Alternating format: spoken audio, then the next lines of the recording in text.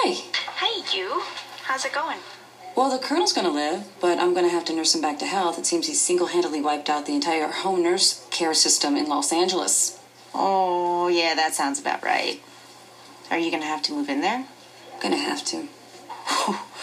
You know, that could be a reality show. You come up with the best ideas. Yeah, you could call it the surreal world. Or the Scare Force. Yeah, or uh, don't ask, really don't tell. oh, or the Brogno Bunch, but really fucked up. So, what are you up to? I think I'm just gonna maybe make some dinner for Lara. What's for dinner? Chicken piccata. I love your chicken piccata.